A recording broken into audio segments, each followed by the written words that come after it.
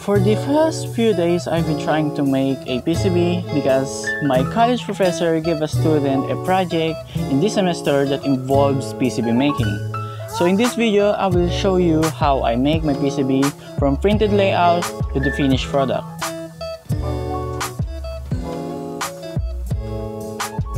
First, we need to cut our printed layout. I have 3 PCB layout in this paper but I will use the LED array layout for this video.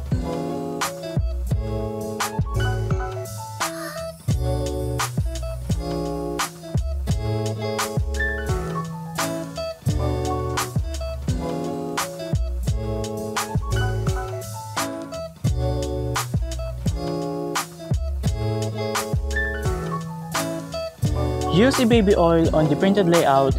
This will make the paper look like transparent and the print will show in the back.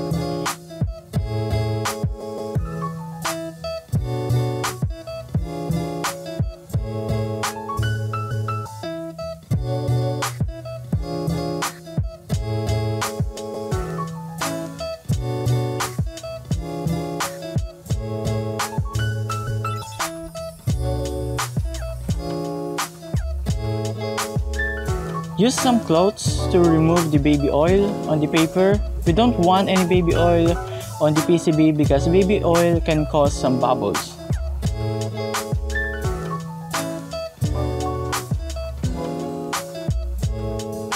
The PCB that I use is a pre-sensitized PCB. I have a lot of reusable PCB.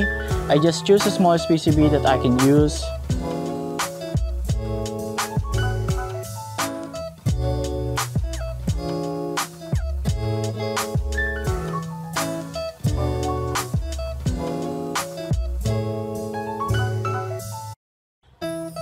tape is optional. I use tape to hold the PCB in place. So I use a cutter. I use the blunt part of the cutter and not the sharp one. So to cut the cutter, you need to score the PCB 50 times on both the front and the back of the PCB.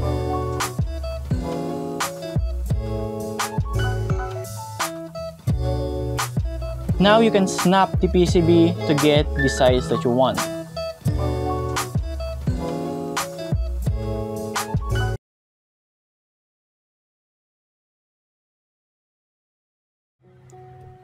I'll be using fluorescent as the light source. You need to make sure the light source is approximately 5 cm away from the exposed PCB. In my case, it's actually 6 cm away.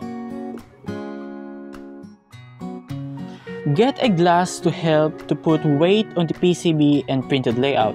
Now, fill the white sticker. This will expose the photoresist film in the PCB and be careful because when the PCB is exposed, it will be very sensitive and might ruin the layout. Put the layout on the top of the PCB and add glass to increase the connection of the PCB and the printed layout.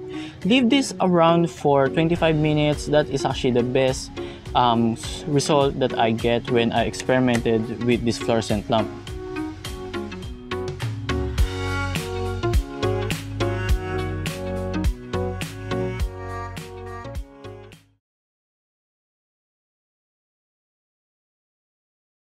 While waiting, we can prepare the developer solution. To make a mm. developer solution, add 1000 milliliters of water in a container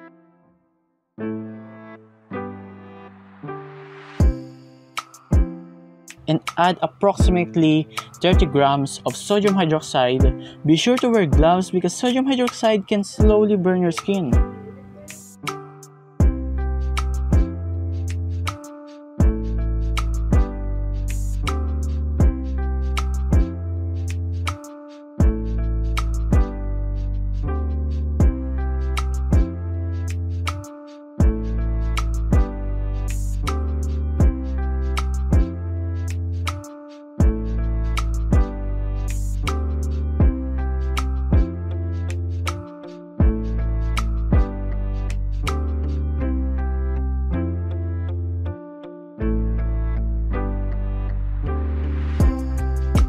After sodium hydroxide is being dissolved into water, this liquid can be known as a solution.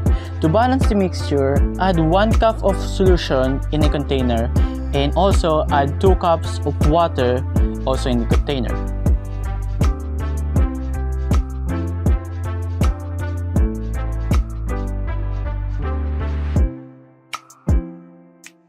After 25 minutes countdown, your PCB is ready for the developing process.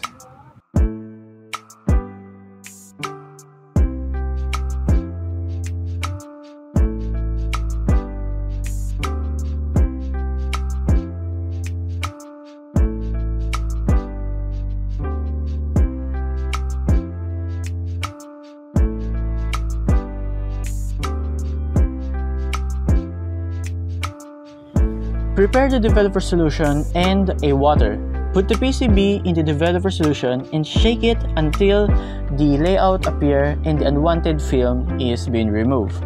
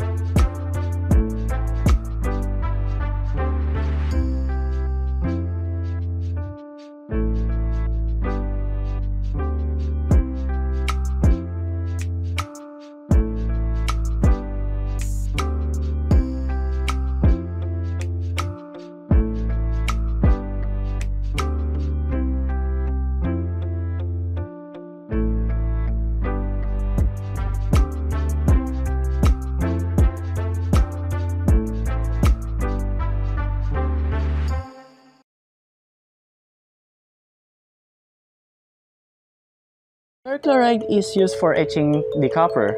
It is best to wear gloves when etching just for safety. The ferric that I use is not pure and not a good quality. I leave the PCB in the ferric for around 1 to 2 hours without shaking to get a good result. This is morely based on my experience using this ferric chloride. If you are using a good quality ferric chloride, then there's a chance that you will just need to put your PCB in ferric for around 10 to 20 minutes while shaking it.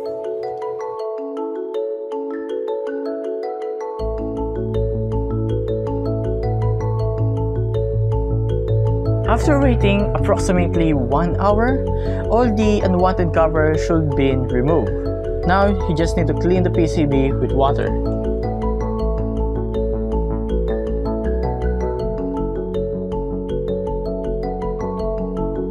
Use an acetone to remove the film and this way it will show the copper. You can also use a sandpaper but I don't really recommend this method.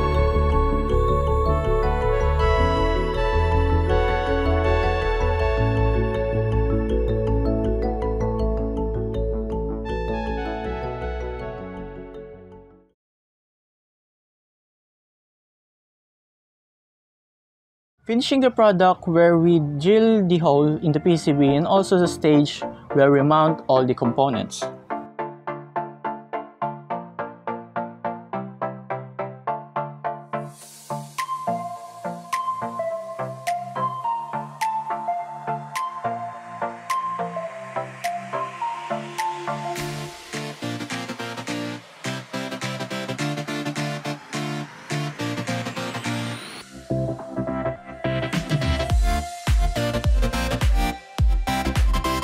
On soldering the PCB, I mount the component one by one to make the soldering less difficult. I use tape to hold the component in place. The way I solder the component is by putting the soldering tips in the component's legs and add a little soldering lead and then remove the soldering lead swinging up to the top and then removing the soldering tip swinging it also to the top. This process make the soldering lead into the pads looks like a chocolate kisses and it looks well made and very presentable if the soldering lead has a shape of a, a kisses candy.